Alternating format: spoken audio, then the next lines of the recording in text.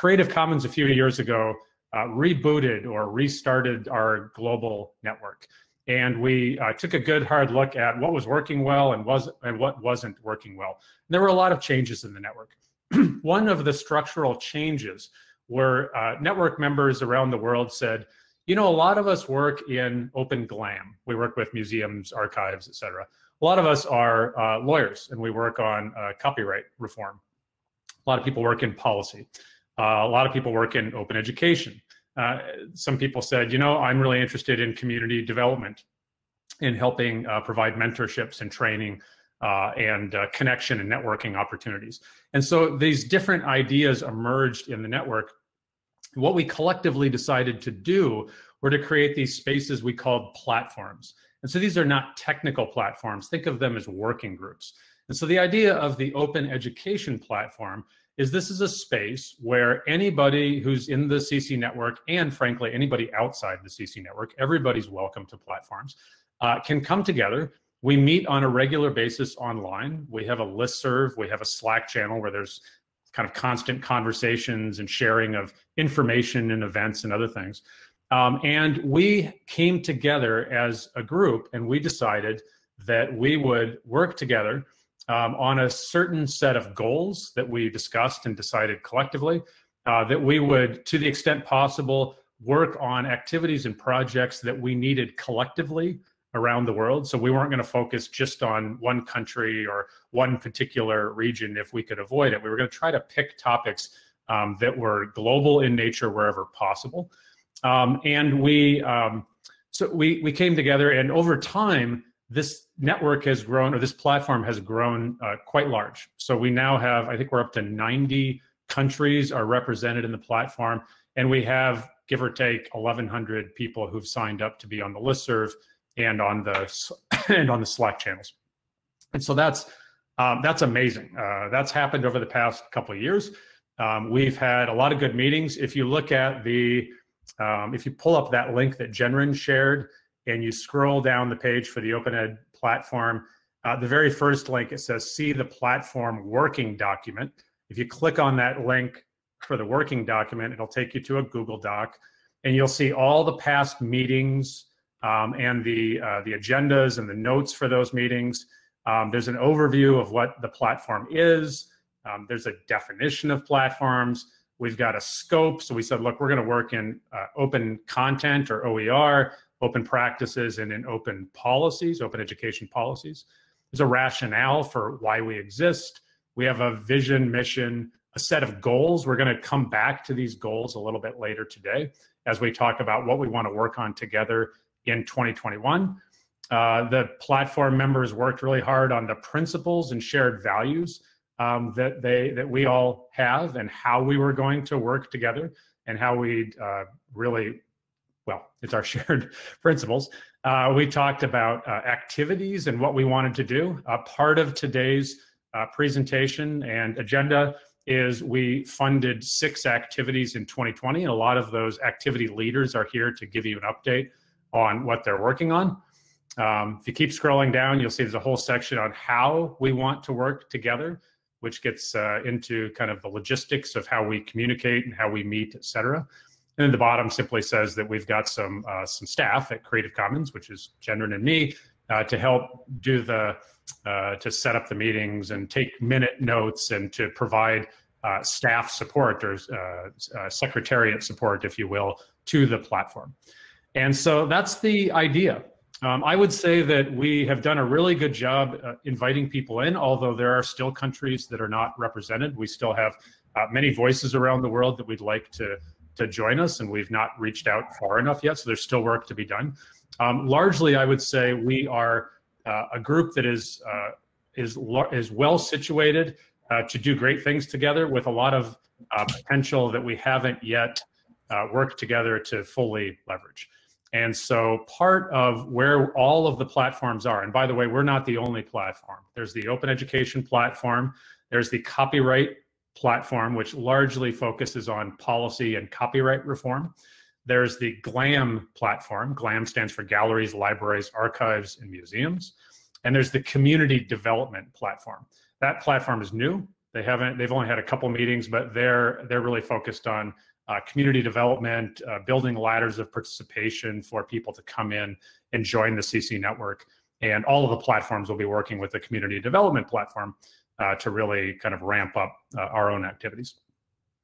Uh, so that's in a nutshell the platform. If any of you that are new have uh, have problems getting into the listserv or the Slack channel, um, I'm going to type my email in here. I'm, I'm cable at creativecommons.org. You can feel free to email me anytime, or you can reach out to Jennryn, and we'll make sure that we uh, we take care of whatever uh, challenges you might have. So let me just pause there for a second. Are there any questions from the new people about the platform and, and what it is? And Jennryn, did I miss anything? Just trying to get a couple links for folks, but um, I'll follow up there. Okay, excellent. All right, back to the agenda. Uh, the next item is an announcement. Uh, we're very excited. We have uh, we've been working very closely with the uh, SDG Academy. I think uh, all of you know uh, in open education, we have talked, and, and um, uh, Chandrika, could you please uh, come up to the stage, click on the little button that says audio and video, and and we'll let you, uh, we'll invite you up. There she is. I'm going to go ahead and add her. And uh, as we all know, we've all uh, looked at the United Nations Sustainable Development Goals for quite some time and thought, and number four, SDG 4 is something that we have talked a lot about. Uh, it's a goal that the UNESCO recommendation on OER is fundamentally based on, as UNESCO is the, the main entity in the UN uh, group that is, is focused on education and accomplishing SDG 4. So we've talked about this. We've had conversations in the platform about what we as the Creative Commons platform can do to support the SDGs. And we've had broader conversations about what role open education has to play in helping people become aware of the SDGs, in providing education, open educational resources about the SDGs, et cetera.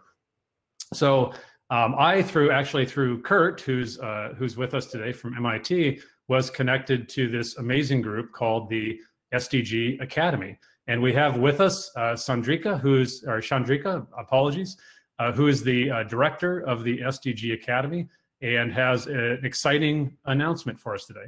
Welcome, Chandrika. Would you like me to put up your slides or did you want to share those yourself? Um, hi, Cable, and thanks for having me. Um, I'm happy to share them if I can figure out uh, what I have to do. It's uh, at the bottom of the window, you'll see a little computer screen with a red slash through it. If you click on that, and then you can select the application for your slides, and then share that application. We'll tell you when it comes up and we can all see it. Okay, just give me one moment. Um,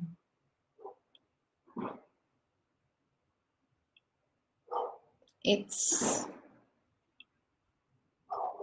only allowing me to share the entire screen, but can you see my screen now?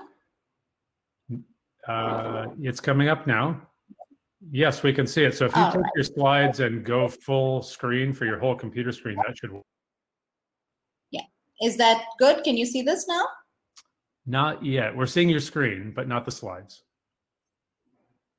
All right. It's full screen on my computer, so it should just be a, hopefully a lag. And we've, uh, Jennryn and I tested your slides earlier. If you'd like, I can just put them up and you can say next slide. Okay, why, why don't we do that? Because this might take, uh, so let me stop sharing okay. and go back and I'll rely on you. All right, let me try. And I'm going to share. Did that come through okay? Not yet. There we go. All right, and I will, I'm going to mute myself and then I'm going to go full screen. So Jennryn, I'm going to go full screen. Would you, I'm going to mute, but would you tell me?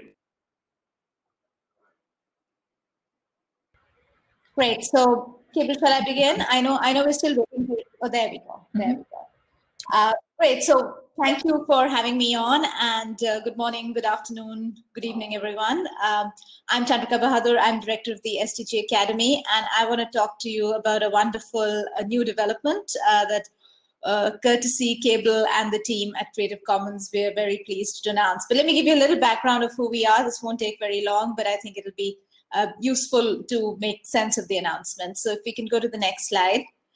Um, we are an online learning platform uh, dedicated to teaching about the Sustainable Development Goals. Our vision is a world in which the Sustainable Development Goals are achieved um, and through the efforts of practitioners, but also citizens and educators uh, that have access and have the tools that they need to actually uh, learn and teach uh, sustainable development.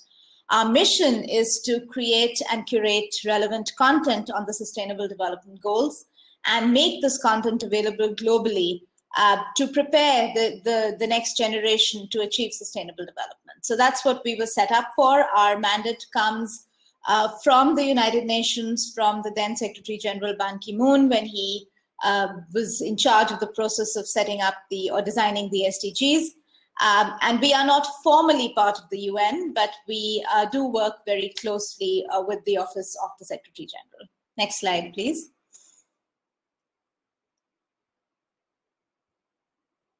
What do we do? Um, so we have a few core principles that I, I want to make sure we, uh, uh, we articulate. The first is we chose very early on, we made a uh, we made a strategic choice to use technology as our pedagogical channel of, uh, of, teach, of teaching and of delivery. Um, and the reason we did that was that our mandate was to reach young people uh, interested in sustainable development around the world. And to be able to do that quickly, to be do, able to do that at scale, we needed to go with technology.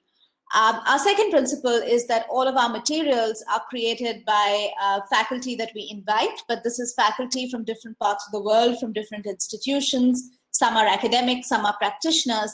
And so what we're able to put together are courses and course materials that have many different perspectives uh, from people who ordinarily would not collaborate. So these are people who would otherwise create their own courses in their institutions, uh, but because they're working with the academy, they're able to work together and give students very, very different perspectives on the same topic. We believe that's essential when you're teaching to a global audience. Uh, the third is our content is high quality and engaging because that's what you need to actually keep people interested. Um, and so we make our content, the way documentary films are made with the same kind of attention to scripting and storytelling um, and visuals uh, so that we're able to retain interest of people who are maybe just dropping in to see what we're like, but then really we want them to get hooked onto the content and the, and the subject matter. Uh, we do two things. We reach the general public. So most of our students are learners from around the world interested in these topics, but we also work with our parent institution, which is the Sustainable Development Solutions Network, which is a network of now around 1,400 universities around the world. And what we do is we provide our content to these universities so that they can use the materials while they're teaching sustainable development to their students. So we have very much, if you like, a B2B, which is our university partners, and then a B2C, which is um, the general public. Our materials are free of cost and they're available to everyone around the world. And these are sort of our core guiding principles, which is what uh, makes this meeting and this community so attractive to us. What you're seeing now is a snapshot of most, I don't think all, but most of the courses that we have on offer. Um, next slide. We've reached so far about half a million learners around the world in 193 countries. Uh, we have 32 full length or, or short courses uh, but we also make all of these courses available in their individual modules and individual uh, segments so people can break them up, put them together again, use them as they see appropriate. Next slide. Who actually takes these courses? This is a very quick profile of um, who, uh, where our learners come from. Um, as you see, one of our challenges is that even today, most of our learners come from middle and high income countries, and that's natural given that our medium is technology. And so a lot of this is to do with bandwidth and connectivity. Um, but if you look at the geographic breakdown, we have Europe and North America still leading in terms of uh, where our background, where our students come from. partly that is because our courses are mostly in English, uh, but expanding uh, the, the language offering is something that's very much part of our goal. Next slide. Uh, we have a wonderfully good gender balance. In fact, most of our, with just a little bit of, a, of an edge, our typical learner is female uh, in her mid 30s uh, with a master's, uh, with a bachelor's uh, level of education. Um, and of course, from the developed world with English as a first language. So this just gives you a basic sense of who, who is it that uh, uh, comes to uh, comes to us. Now, there's a question here already which says, "Is it only institutions in our network that can use the materials?" And the answer is no. Um, and I'll come to that in a minute. Let's let's move on. Next slide. This is our library, and this is accessible to anyone in the world who wants to look at the individual components of our courses. Uh, this just gives you a little, the library is relatively new, um, about uh, a year and some old, and what you can see is the content is actually getting used, but of course we'd like it to go to a much wider audience, and it's really available for anyone to see as they um, as they want, and it's available completely free. Next uh, slide.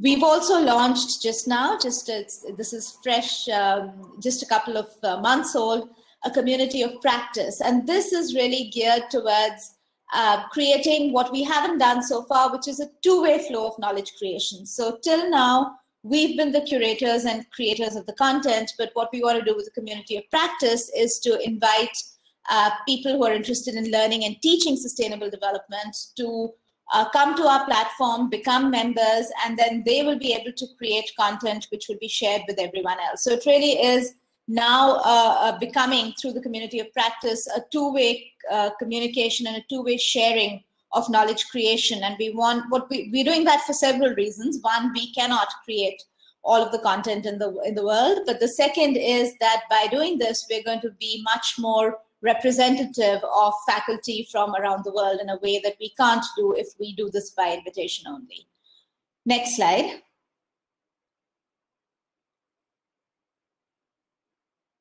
We've, of course, in these times, uh, expanded our offering and adapted to the reality of the world that we're living in right now.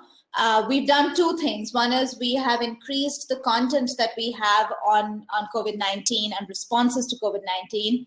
Uh, but we've also made our learning on uh, for the formal courses more accessible to people around the world. And we've also pivoted to many more live events where we're inviting experts in real time to share resources and knowledge as it's evolving. So this is part, and of course, you know, with all other forms of online learning, uh, during the pandemic, we've seen a, a heightened engagement uh, with the platform, with people wanting to understand, make sense of what is a very confusing time. And I think that's something that we're uh, we're very cognizant of the responsibility that we have to be a resource for people who are looking for answers, not just on COVID-19, but also on the proximate and the related causes and solutions. And that's what we focus on. And that's what the SDGs focus on, on ensuring that there is a way to think about the world in a more integrated manner, looking at the environment and the economy and the, and the social dimensions. And so COVID-19 is a, is a reminder of this interconnectedness, but we're making a special effort to respond to the demands that are coming from our learners.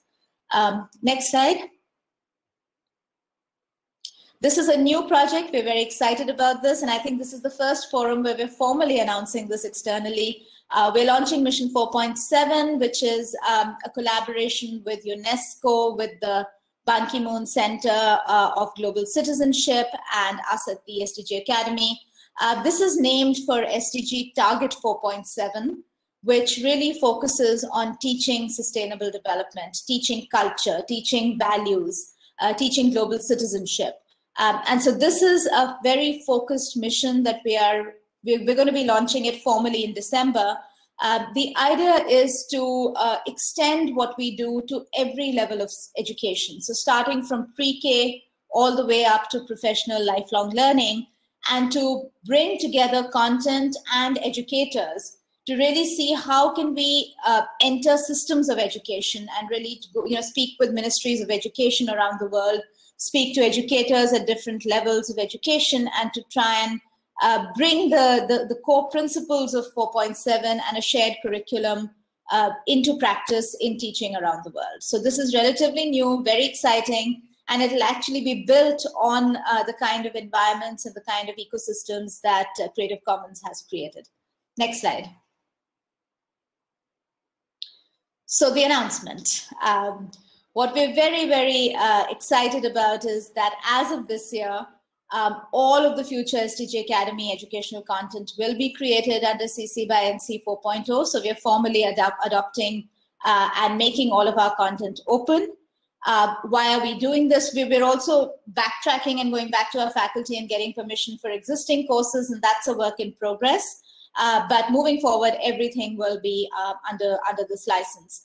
Now, why are we doing this? The first is we want to open up even more the SDG Academy content to learners to be able to use it, to be able to adapt it, to contextualize it, to uh, combine it with other uh, content so that the end experience for learners in classrooms is actually more relevant than what we can offer at a, at a global scale. So that's the first reason.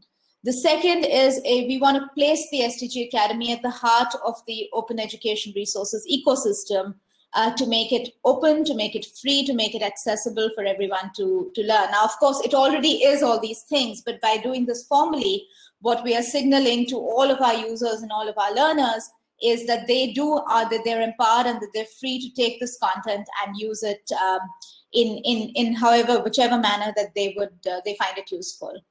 Our third reason is we want to expand more. You know, the, the sustainable development community is a large community, but it's nowhere as large as it needs to be for us to have impactful change in the world.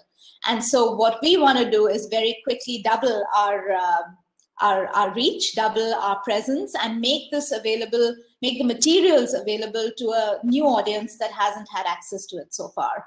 We want to build the academy content as a global public good. And that's very important for us because we do believe that once knowledge is created, it is there for consumption, it is there for addition, it is there for modification and to be built upon. And so we, we don't want any aspect of it to stay closed. And of course, uh, as I mentioned briefly earlier, we're very keen to extend the reach of the Academy to communities that probably need it the most, but where we've been less successful uh, reaching. Um, low-income countries, middle-income countries, places where language is a barrier, and we need um, help with, the, with that uh, from uh, this community. Next slide.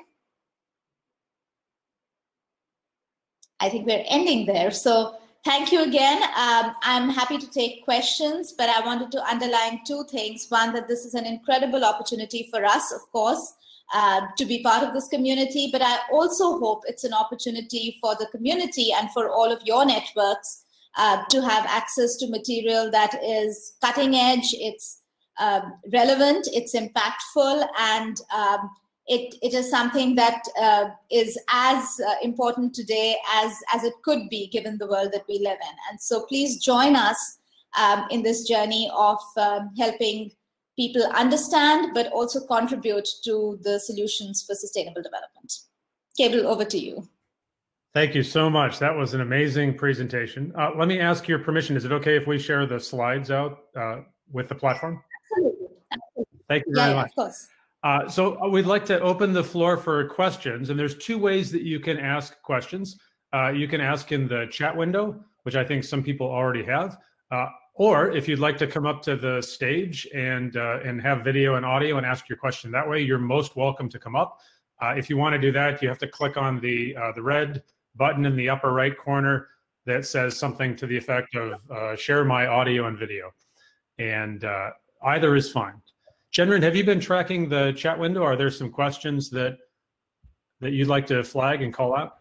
Yeah, sure. The the first question that I noticed came from Paula. She asks, "How can we help?" Thought that was a good question to start with. Uh, it's a great question, and uh, I, I, think there are several uh, things that we need help in. Um, I would say the first thing is just getting to understand what the needs are of learners around the world. I think again we have, uh, you know, we have our own experience um, uh, on this, but what I would really encourage everybody in this community is to look at um, uh, the content, look at the look at the materials first, and then come back to us to say how can this be more helpful? Uh, are there ways of reformatting the material, or is there uh, is there additional material that you think would be helpful? Uh, you know, one of the tensions we always have is because we're catering to a global audience, our materials are great for a global overview, but then naturally the next step is, well, how does this apply in my country or how does this apply in my community? And that's something that we may not have the capacity to respond to immediately. Uh, but what we can do is leverage our network um, and leverage this community to try and make connections, to try and help connect you with academics who work on these materials and maybe help provide, uh, not directly, but indirectly, uh, some of those resources. So I think the first thing is look at the material and tell us what how it can be more helpful to you. And then the second area where, uh, where I think uh, we really do need help is how do we expand what we are doing and how do we make it uh, reach an audience that maybe theoretically is interested in sustainable development or is thinking about some of these questions, uh, but hasn't really engaged with them in a deep way. Um, and these could be policymakers, these could be uh, students, these could be professionals, people working in the corporate sector. Uh, but what we'd love to do is to introduce them to these issues. What we found is that once people start thinking about these topics, even if they don't have a background in it, they, these are such topical issues. These are so interesting for people in their day to day that we find that they get engaged very quickly. So we'd love to expand that experience for more people. Fabulous. Uh, let me go to Kurt next. Thanks, Kurt, for coming up to this. Anybody else who'd like to come on up, just click on that button and we'll bring you right up here. Uh, let's go to Kurt and then we'll go back to Jennryn for some more questions from chat. Thank you. Um, I'm so glad to hear about this. I'm really excited. Uh, I've been working with a uh, an educator uh, who's been building some uh, course materials, uh, and I know she'll be uh, very excited to apply some of this stuff, for instance. Uh, I had a question about um, what you've learned about the different types of uses that the library of your materials are getting relative to the full courses, um, and if you have any any expectations about um, moving beyond the videos that are currently in the library to some of the the other kind of interactives and things that are part of the courses. Thank you. Great. Uh, so I think right now the library is predominantly used by educators. Um, I think the, the, the, the, videos, the courses are used by people who want to learn about this stuff, right? But, but that's a, it's a, it's a bigger time commitment to actually commit to an entire course. Uh, what the library uh, allows uh, educators to do is to stitch their own courses together. So they can pick and choose things from across courses, different faculties, different topics, um, and make something of their own. So that's where we've seen uh, most of the usage come in. Um, our quizzes and our assessments as of now are not as part of the library because the idea of the library is that people will take the material and then make their own uh, and, and, figure out exactly how they want to assess people uh, on their own. But again, if the demand comes in, uh, including other kinds of materials, we'd be more than happy to respond. Yeah. Thanks. Kurt, you have to show us your T-shirt. I think I know what that is there. Ah, there it is. yep. From the uh, from the uh, icon project. That's right. Yeah. Uh, Jennifer, back to you. What else do we have in the chat for questions? Uh, well, we've got a few. So I'll just start with the um, the first one after um, after Paula's question, which is very related. So Camilla asks, the coronavirus pandemic has surprised all of us, um, and the pandemic is not over yet. How can we help and support marginalized populations in the time of COVID-19 um, who may not have enough devices to accommodate the simultaneous educational needs of multiple children? I know you touched on that a little bit with Paula's question, but I didn't know if you had anything to add. So, you know, unfortunately, uh, you know, the content that we create is not uh, not in, not used very much by people who are really struggling for for connectivity and for for basic connection. I do think, though, when you think about SDG four, um, this is a fundamental challenge, and it's a, it's a slightly different challenge from the one that we've been tackling. Uh, but it's the challenge of what do you do with children who have been now out of school for uh, several months and are likely to continue to be out of school or intermittently be in and out of school. Um, and I think that is where uh, the one of the first things to do is to think about how open educational resources can actually uh, take away some of the barriers that already exist. Um, and I think uh, we have to figure that i mean I, I don't think anybody has the answer to these questions right now i know that in most countries where um, uh, where going digital and being online is is is a luxury uh, children have not learned or are not learning for a really long time and so i think being um, creative about how content is repurposed so that it is made available uh, we have some examples all of those examples are suboptimal frankly uh, because this is a difficult problem to fix. Uh, but I do think that making sure that the, the content is not restricted is the first step in that process. And then we have to figure out how to get it there, which is a different and a more challenging problem. Uh, so I'm sorry, I don't have any great answers to this except to say that if there is one issue in the world that needs resolution right now is how do you get children back in school? And it's something that uh, we're involved not specifically through the academy, but as SDSN, looking very closely at um, at how we can support that effort. Thank you. Yeah, I, I liked how you initially had also mentioned the um, leveraging other networks, like looking at who we have in our networks too. I know CC has a lot of um, really wonderful NGOs in our networks that look at some of the offline options too. Um, so yeah, I, I, I really appreciate you responding to that question. We had a, a couple questions about um, your decision for the NC license. Um, Lucy, I think maybe it's easier if Cable and I follow up with you afterward if you want to reach out to us on some of the nuances of for-profit institutions working with NC licensed content. Um, but yeah, I think a, a, couple folks were wondering about the um, the reasoning behind the NC license.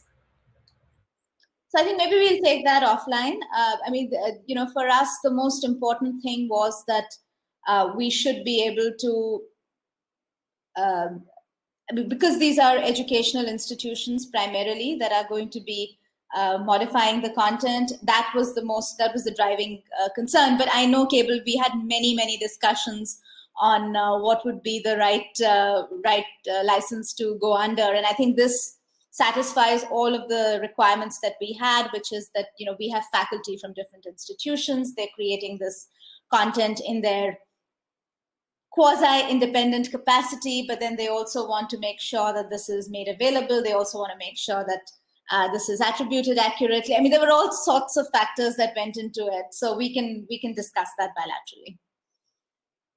a few questions about language, which you addressed in one of your slides. Uh, people asked, is this only in English? It sounds like you've got, uh, is it true that there are multiple languages already available and you're going to do more? Was that the message? So it's predominantly in English, but we do have several courses that have transcripts that are in multiple languages.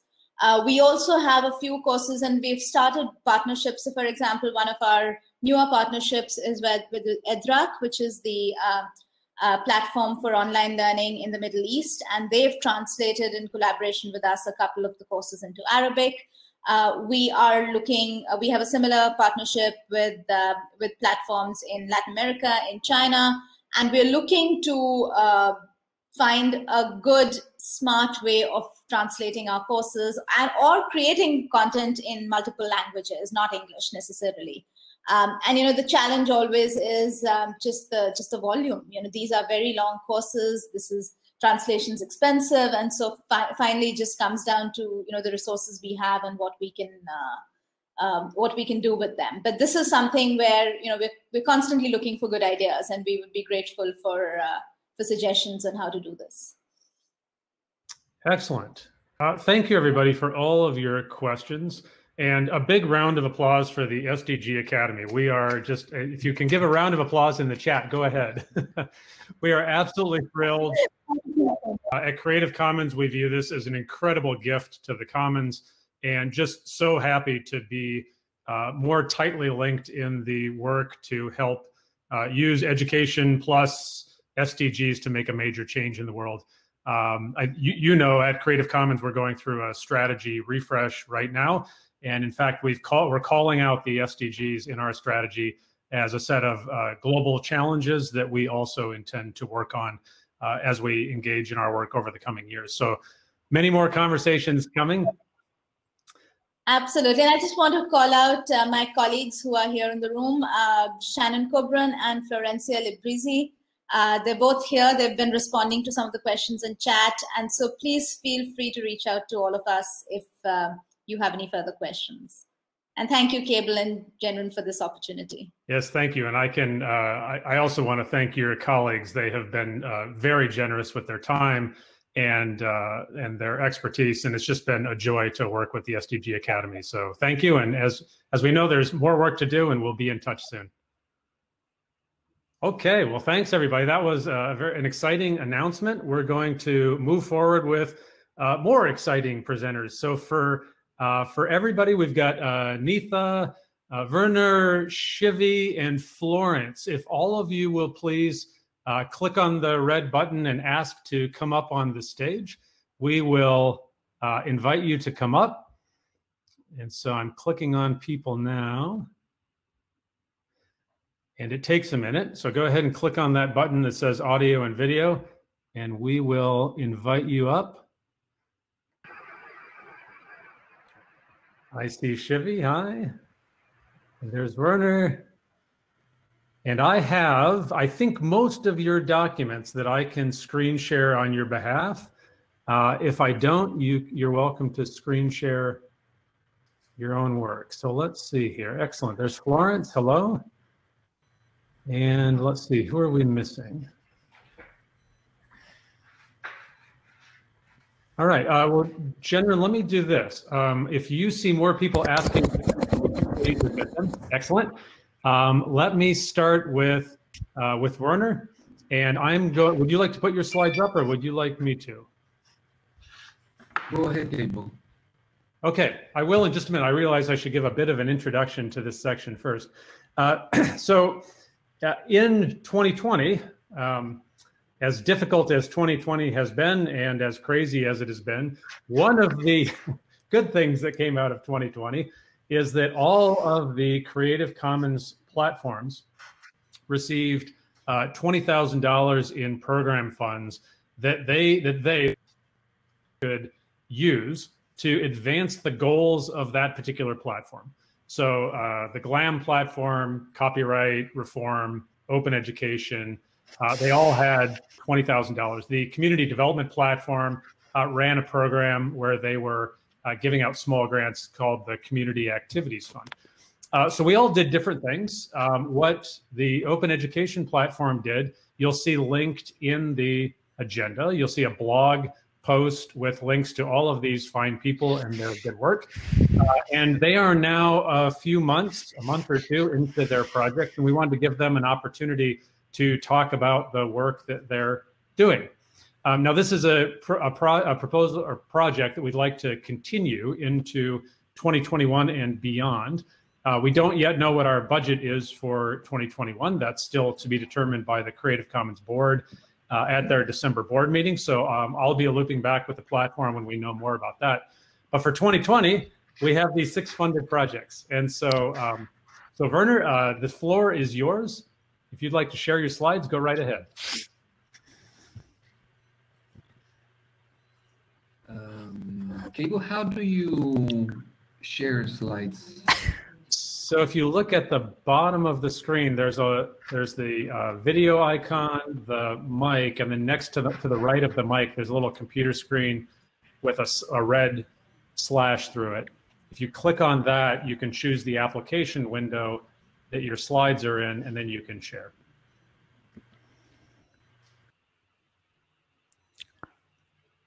Oh, it looks like you threw yourself out of the room, or somebody else might have. That's okay. Uh, let's move on. Let's go to Shivi. We'll come back to Werner in a minute. Are you ready to go? The floor is. Awesome. Thank you. Um, I will see if this works to share. Oh, now we've got two screens. Um, Werner, would you like to go ahead?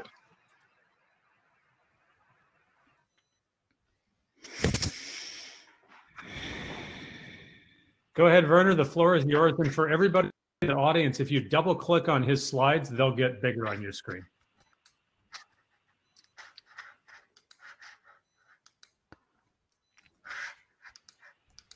Oh, it looks like he lost audio. So Werner, we'll leave your slides up. We'll go. We'll have Shivi go, and then we'll come back to you in a minute. Okay, go ahead.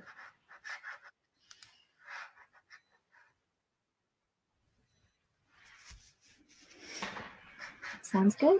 Um, is everyone able to see mine? Great, thank you. Um, hi, everyone. It's good to see everyone in the open platform meetings. Um, uh, I'm from an organization called Learning Equality, and as you can see here, we make essentially open learning um, materials and software um, and the, the tools to use them. So we address specifically the connectivity issue that prevents um, communities without access to the internet from accessing and making use of open educational resources and digital learning materials more generally. Um, our project within the open platform activities is about identifying socio-emotional learning resources for open digital learning projects. And um, when we refer to those kinds of projects, we're mostly talking about things like libraries, educational platforms, learning management systems, or as many of you who are educators might have seen, the types of um, resource and link lists that go around a lot in the um, wake of the COVID-19 pandemic. Um, so socio-emotional resources specifically, um, these are some examples that we've um, given at our own organization, there are any types of resources which intend to help learners um, make sense of their relationships with themselves, with society, with the world. Um, and so what Chandrika shared about the SDG Academy, for instance, is an example of something which could be used in a classroom as social emotional learning um, resources. It can encompass a really broad spectrum of things. And that's what our project is focusing on. So we're really trying to expand the availability and um, reach of socio-emotional learning uh, resources for open digital learning projects. Here's an example of how we might do that um, on our own platform, Kolibri. Um, it's an open source education platform for people who are disconnected from the internet. Um, it's used in over 200 countries, and the way that um, we're able to provide it is that we make use of these types of open educational resources um, in order to share them with other communities. Um, so you can see here a couple of examples that we've really um, brought forward during the pandemic, um, things about crisis response from communities that ordinarily work with refugees, for instance, um, and a lot of information about domestic violence and um, managing relationships within the home, since that's become something that we've heard a lot more needs for since the pandemic began. And we basically make those available um, in channels on our Kolibri platform, which educators can make use of and find other open materials. Like here, um, pictured is a library that we've made about the coronavirus crisis in particular.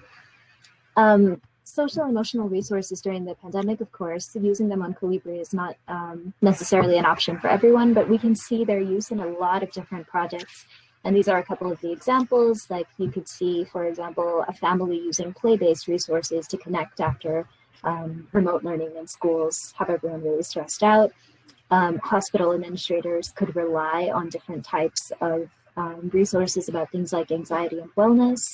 Um, students could look up different types of information about civic participation, about news, about disinformation um, parents explore the ramifications of new technologies, we're seeing a lot of demand and need for these resources. So using our open platform grant, um, we have three projects that we're really working on. The first is to inventory different types of digital SEL resources. So books, games, courses, lesson plans, um, anything which we think would be really useful for this particular bucket of um, resources. We'll be sharing a list of those materials that we know are openly licensed or otherwise available to use as a public good so that other digital learning projects like us can also make use of them. And finally, we're also going to try to do our own advocacy work on materials which aren't openly licensed, but which we believe um, with a little bit of advocacy about the benefits of open and about this community that they could be connected with, we think that they could really expand their reach and they would be willing to do so. Um, so those are the, the projects that, that we're doing really about making these digital SEL materials available for all types of digital education projects. And we really look forward to, um, after that, seeing how this community and others could make use of them. Um, here's a little bit of information um, about learning equality if you'd like to know more about us. And I'll uh, drop my email into the chat as well. We'd love to connect with any of you around this project if you have any leads or just would like to make uh, use of the materials or the list that we produce. But thank you very much to Creative Commons for the opportunity both for the project and to share a little bit about it right now. Excellent. Thank you, Shivi. A little round of applause, everybody in chat. That was fabulous. Uh, and if you would please send me your slides, I'll, if it's okay, I'll share those out on the platform list as well. Um, are there any questions before we move on? We have time for just a couple questions, and then we'll move on to our next activities lead. It's okay, and, and uh, everybody just stay up on the stage. We got plenty of room for everybody. Let me see if there are any questions. No, just a lot of clapping. All right, uh, let me go over. Werner, how's your audio? Do you hear me okay? Yes, it's good. Go ahead and share your screen. You're good to go. Uh, going through it now. Just a second, please. If you have problems, I can share it for you. Either way.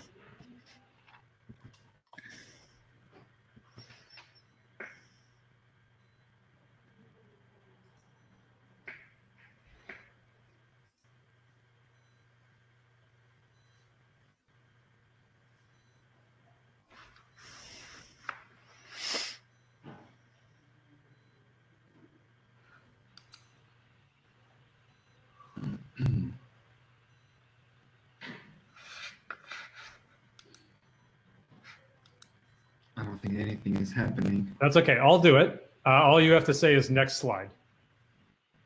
So bear with me here. I'm going to, uh, I'll go ahead and put your slides up. Thank you, Cable. I'm sorry. I, what's going on here?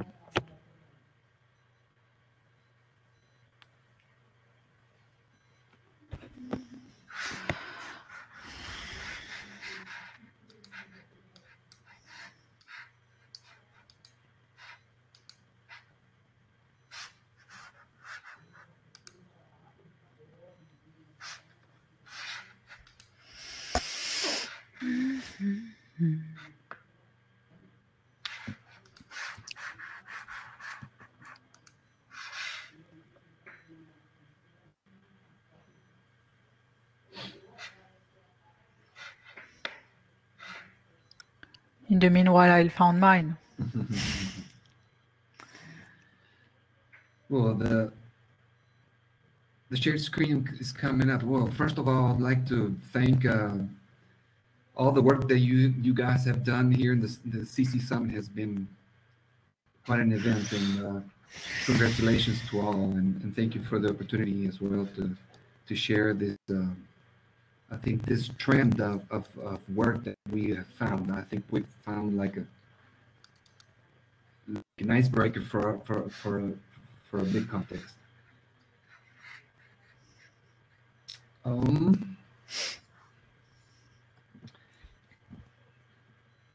well, while the, the the the screen is shared, um, I think one of the biggest uh, problems that we have to face in this COVID pandemic uh, context in the education sphere is is that we were forced to, to transition to a digital um, delivery of education as a means to to to, to continue the educational uh, work of, uh, with our students and teachers and schools. The, the closure has really uh, forced us to, to go on the digital. But um, we have to ask if we have the, the, the platform to really uh, promote an online connected education as a way to to so uh, if you look at the numbers in Chile, uh, connectivity, um, you, you, might think it's, uh, it's, it's, we're very prepared for this transition to digital education. Uh, we So, have a Werner, can I- 90%. Werner, can I inter- in, in, interrupt you just real quick? I apologize. Um, your slides are up. People can see them. I'm going to make them go full screen for everybody. And so if you'll just, I'm going to start on slide one. And if you look at your version of the slides on your computer, if you'll just tell me slide two, slide three, I'll move through them for you. Okay. Okay, So let's go go ahead. So you're on the title. two. I'm going to put you on the title slide.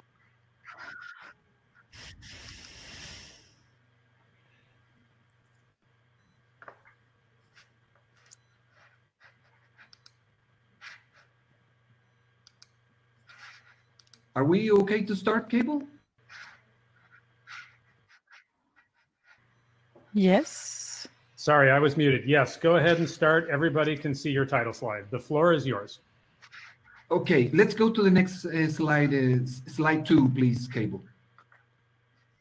Um, here we see um, the distribution of the connectivity uh, in Chile.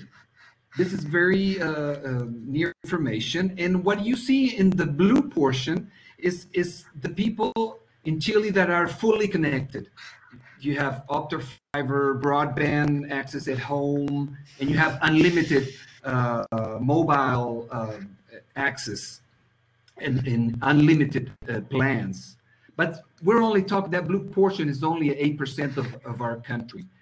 The rest uh, is uh, it has a lot of more has a lot more restrictions on on connectivity. The the um, the orange portion, uh, it, we- we talk, uh, it's the- part of a population that has uh, limited plans on mobile phones, and and and you have um, and you have a lot of restrictions, especially thinking about uh, uh, connectivity for educational purposes. Um, and in that middle class, uh, C2 and C3, we we also have a lot of uh, population that do not have access at home. And if you look at that, the yellow uh, uh, picture, uh, connectivity is really restricted. Uh, you have 70% of prepaid mobiles. So prepaid, you know, you put a buck and, and you get just a small amount of connectivity. So uh, we have like 90% of, of Chile, it, it has a lot of problems to get connected to this online education. So, and, and you have to deal with, uh, with problems like you have 5 million people in, in Chile that do not have internet access at home. And in the, in the yellow uh, part of the pie, you have, uh, you have three and a half million people completely unconnected. Okay. So next slide, please. Uh, number three. So, so this is Chile's uh, situation, which is not very bad because we in the in the global connectivity index we're ranked 33 in the world. So what happens to the rest of the world? Uh, who's, who's who's behind that? So we have, I think, we have a huge challenge uh, in this. And if we look at the region, we found really big problems. Like in Latin America, 32 million children do not have access to internet.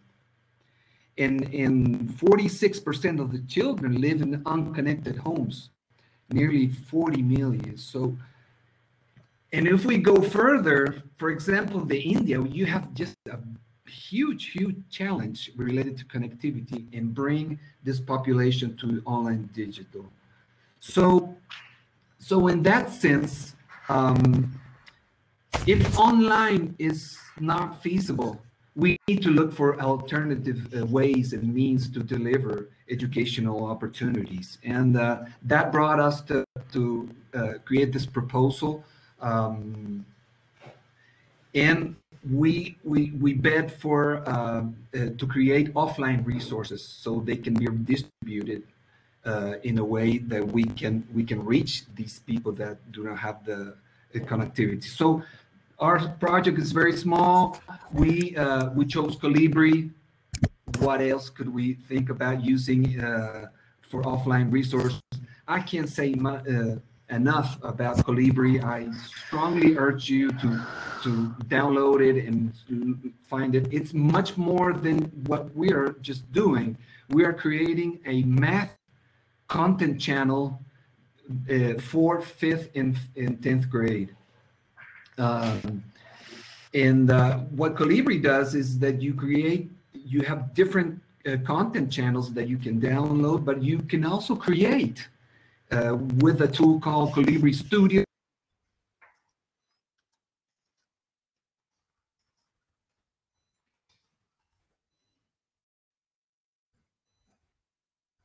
Oh.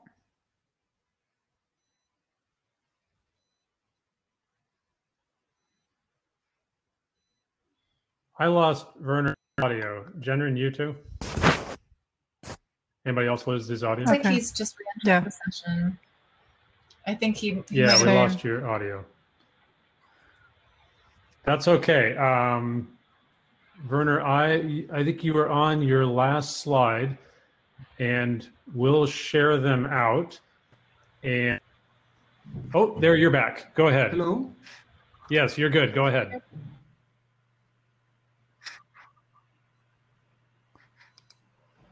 We, we can hear you. Go ahead and finish your last slide.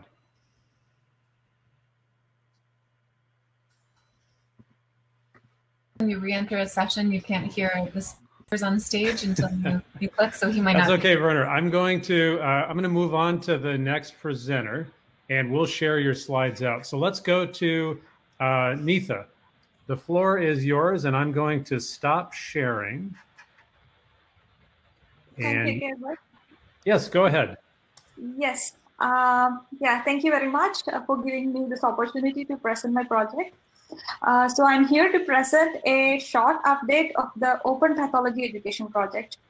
Uh, pathology is the study of diseases. And I decided to work on this project because there is a lack of openly available resources for studying pathology. And uh, the aim of this project was to create an educational module in pathology for use for anyone who is interested in studying pathology, uh, and particularly for use for medical students. For this project, uh, Wikipedia and Wikiversity are being used as platforms for sharing these resources. On the screen here is the project page for the Open Pathology Education Project on Wikipedia. And the first step of this project was to identify relevant topic areas. This was accomplished and a list was created.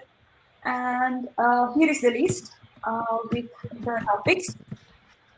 And I am now in the process of adding structured data to the images that I will use in the educational resource. Pathology is a visually oriented subject, and uh, learning to identify images makes uh, a large part of learning pathology. So students have to be able to identify uh, a lot of images showing disease conditions. So therefore, it's important that the images in the resource contain structured data for the learners to understand the pattern and to identify a new image correctly. This could also be helpful in the future for machine vision algorithms to correctly classify pathology images. Um, once the structured data is added, I shall add descriptions to each topic area along with uh, relevant references. And these will be presented as an educational resource in Wikiversity. Wikiversity is a sister project of Wikipedia that contains educational resources. Yeah, and uh, that is all. And uh, thank you for listening. Excellent. Round of applause in chat, everybody. That was excellent. Thank you so much. And uh, I see that uh, Vladimir shared the link to the project. So thank you for, for doing so. Uh, let me turn it over to Isla and Florence. Are, are you both presenting? I'll, the floor is yours. Okay, um, Florence, did you find the link? Yeah, I'm, I'm trying. So uh, this is an attempt, an attempt to show you. Um, it's coming through. Is it sharing? Coming. We can see it. And this is an reminder to attempt to everybody, if you share a video with you. If it slides, doesn't work, will get bigger. it doesn't work. Go ahead, Isla. So let's see. Wait, wait, wait. Trying to increase the size of the I think you slide. need to put it full screen there. Share is not getting bigger. It's the computer is so slow. Just okay. You can see what you've been watching before, Florence. Absolutely. There you go. Will that work?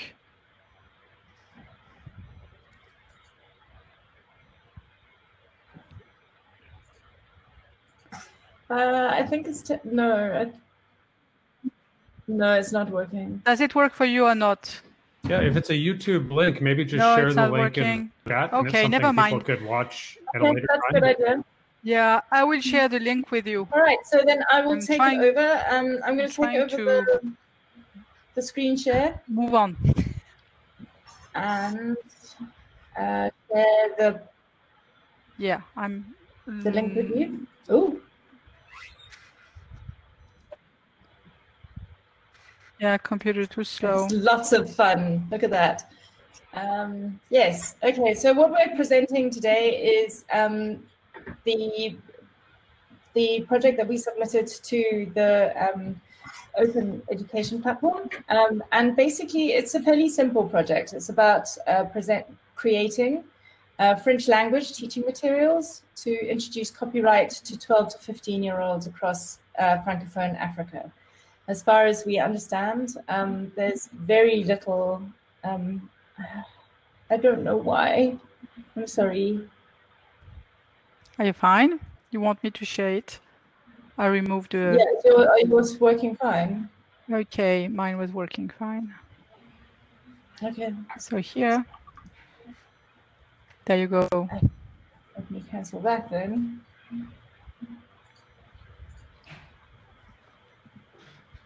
Yes. Let's do it again.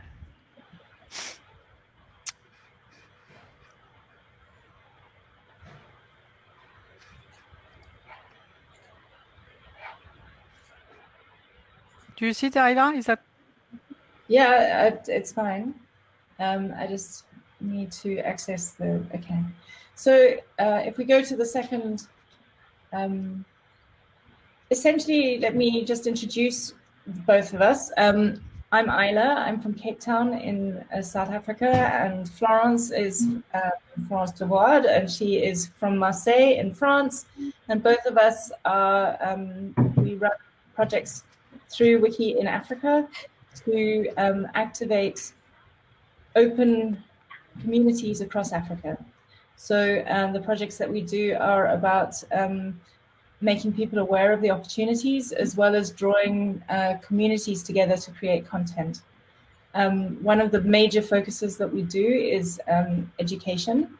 And uh, within that, we have um, the French, we the project that we're presenting today is the French uh, language teaching materials um, to introduce 20, 12 to 15 year olds to Florence. Your thing is moving around, right? To uh, to francophone in francophone Africa to copyright. Sorry, I'm being distracted by the screen. All right, so the activity will create um, a pilot of introductory materials and assignment models uh, to support teachers in the introduction of CC licenses to uh, basically to 9 or 12 to 15 year olds. Um, so we're looking at middle school to high school um, age groups.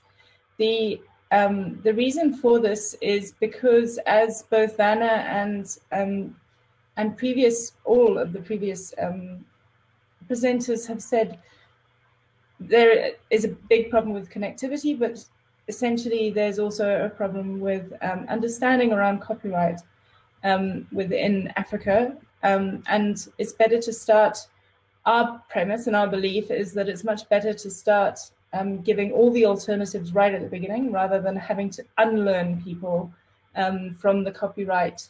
Copyright is the only way, uh, everything must be closed scenario. So um, within that, we um, know that the work that we've done, we know that teachers do not have access to online materials that explain copyright or alternatives like CC licenses to their students, and especially not in French. Um, and these materials, there are obviously ones that exist in English, but the French um, Francophonie uh, materials are, are very um, scarce.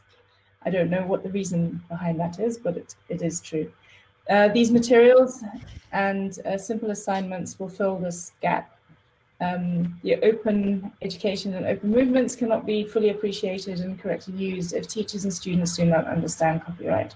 So I'm repeating myself, but essentially um, that's the premise behind the, the project. Um, moving on to the next slide. Um, the open movement cannot be fully understood, um, appreciated and correctly used. Oh, sorry, there's a double, there's repetition. You told me to move to the next Yes. slide. The materials will consist of text and um, graphics with assignments that are simple and easy to understand and fun to engage with and appropriate for the ages. Um, and the students' assignment material will be accompanied by an additional teacher guide with resources and cheat sheets. Um, all materials will be available in a format that is reusable and modifiable and obviously under all the correct licensing as open as possible um, to maximize its usefulness to um, the context of poorly connected or even non-connected schools in rural areas. The materials will cover the following subjects, so basic understanding of copyright and CC licenses, how to use and correctly attribute CC media and photographs, which is very important as people get mess that up all the time, and understanding usage with regards to collections, uh, remixing, and recreation. So within their, how to apply that within their own schoolwork, as well as any other projects or um, out of school stuff, extracurricular stuff they want to do. The measurable outputs are to contextually adapt an, ex- an existing short introductory course to introduce copyright and CC licenses, um, assignment models for teachers, um, a teacher's guide as a resource, and additional resources and links. So that's basically the project. Uh, Florence will add. I'd like to give you two tiny elements of context. Uh, the context number one is that with Isla, we have been working for the past five or six years uh, with students in, uh, in Africa, in various places, in French-speaking Africa and English-speaking Africa. And we have developed in particular a project called Wiki Challenge École d'Afrique, which has been running for the past four years now. Um, and the kids there are all connected, are all in uh, rural areas or poorly connected areas. And uh, what we do with them is we try to distance to uh, some digital skills, make them write articles for Vikidia, which is the, the baby project uh, related to Wikipedia. And since we do that distance, we realize that they really had no understanding whatsoever of licenses. So the problem is uh, that all these kids they do not have access to internet. They have access through their mobile phones. So there are plenty of resources that are available online, but those kids they do not have access to these resources. So I really want to provide something that is packaged and that we we the way same way we do with the our own offline resource that we have been working on the past few years. The other contextual element is that I followed the Creative Commons certificate uh, last summer, uh, and that was a absolutely great time, very inspiring. And I realized that most of the resources that currently exist on, online or just um, basic explanation of what the Creative Commons license were. There is rather little resources related to attribution, except of course for the, the tool on the Creative Commons uh, uh, website. And next to no information in France with re- regarding re, uh, remixing and, rec- and collections. So I want to expand on this and mostly work on providing instructional material for the kids. So more quiz and, and system for them to um, exercise and check their own understanding and knowledge.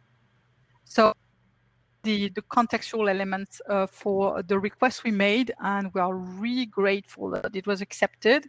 And I'm working on that at the moment. All right. Well, thank you so much. And thank you to all of the presenters. This was uh, really fantastic. I appreciate you all doing uh, such, not only doing the projects, but putting these presentations together for the meeting. Um, I've noticed that uh, and others have been adding your resources, your slides and resources that have been shared to the agenda document. I made a note in the chat. So if your slides are not there, if, if you could put your slides online somehow and then link to them. And just a reminder to the presenters, please check the permissions to make sure that everybody can at least has view permissions for the slides. And this will be part of the archive of today's meeting, and we'll share those out with the entire Open Ed platform. So if everybody could join me in giving a big round of applause to all of our speakers, thank you so much. This was wonderful. We have about 15 minutes left in the meeting, and we're going to go ahead and move forward. And let me just take those slides down. There we go. Excellent. Yes. Clapping, clapping. That was really great. You know, one of, I'm sure that other people noticed this as well, uh, but I saw a theme through many of the presentations we had about, uh, about access and particularly offline access and uh, is an increasing uh, challenge in these times of the COVID pandemic. Uh, something that as a platform we're certainly talking about and and uh, clearly our work is collectively focusing on it.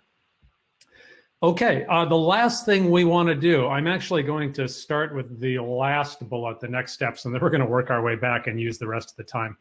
Um, just uh, so if you look at the agenda again, um, the next steps, there will be a December platform meeting. Uh, it will be after the December CC board meeting so that we have some more information about budget and things like that. Uh, I will send out a poll to the entire platform and we'll find a date and time, actually multiple dates and times that work. As you know, with the platform meetings, we always host the, the same meeting in two different times so that we can uh, be, uh, we don't want people to have to get up in the middle of the night. So we run the same agenda twice and we share all of those out. Um, so you'll see that coming. Uh, second thing, I just want to remind people that if you have not signed up to give a lightning talk yet, if that's something you'd like to do, these are, think of them as uh, seven minute TED Talks, if you will, about the work that you're doing in open education. I just sent a reminder out to the platform. Uh, the deadline uh, will remain open or the, the submission will remain open through, I think, this Friday or Saturday. And then I'm going to close that down and we're going to run the first round of lightning talks. And then after we get through that, we'll open it up and more people can sign up to give sessions. So if that's something you want to do and you haven't signed up yet, uh, you have another two or three days to sign up for this first round. If you're if you don't want to sign up yet, that's okay. There will be future opportunities.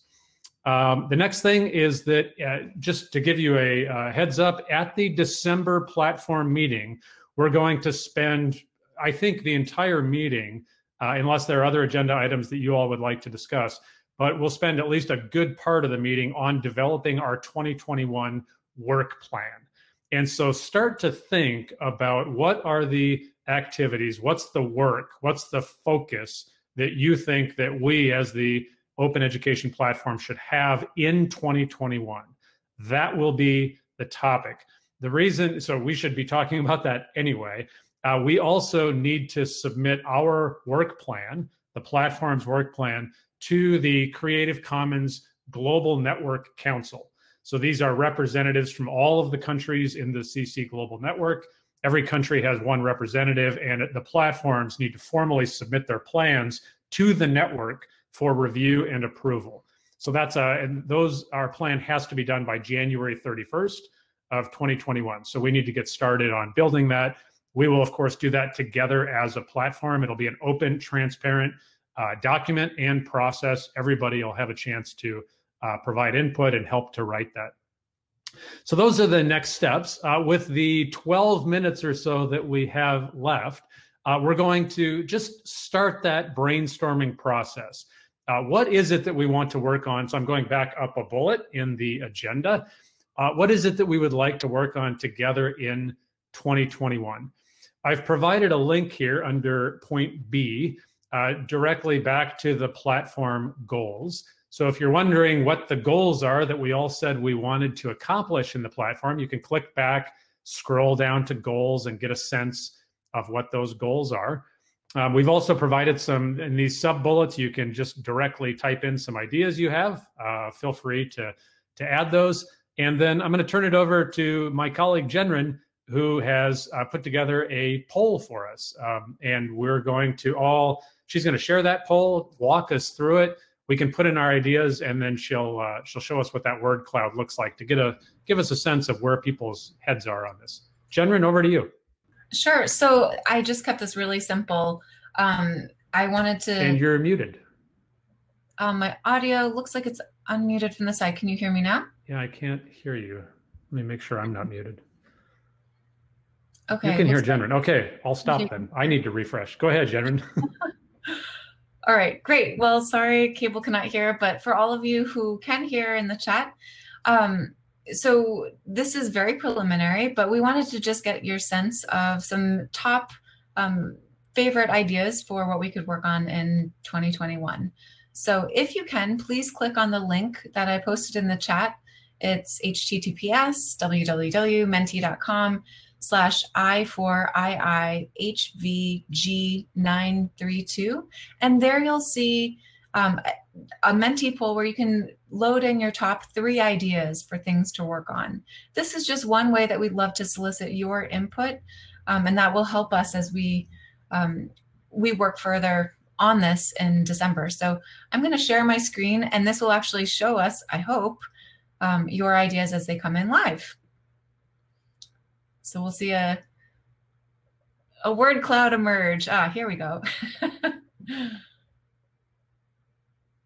so it looks like we've got ideas around um, focusing on mentorship, the UNESCO recommendation, um, different open ed policies, accessibility and inclusion, interoperability, I'm assuming of licenses, another, let's see, men, networking and mentorship seem to be the biggest ones right now. That's great.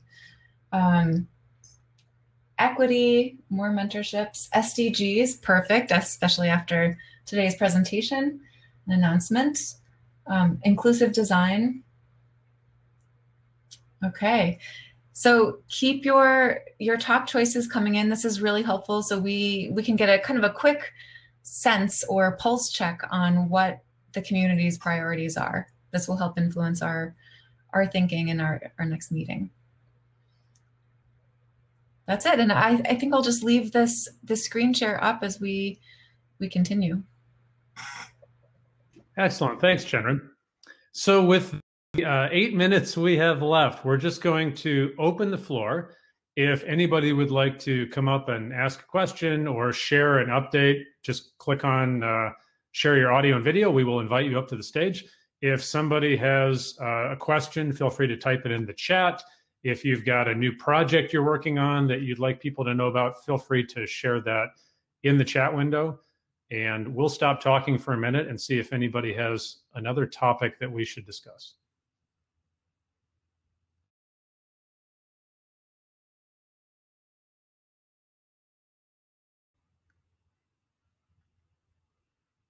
As people are thinking, let me just ask, was today's uh, session and agenda useful? Did you find it helpful to hear from your colleagues, hear from the SDG Academy, get a sense of what's going on? If you can let us know in chat. We always like to get feedback.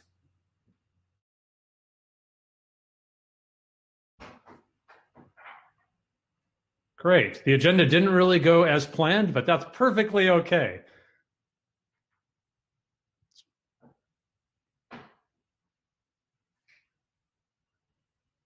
Paul says that's normal. this is true, Paul. Okay. Well, not seeing any other urgent agenda items, let me just say thank you so much, everybody, for coming. Um, I really enjoyed this session. Love to hear what people are working on.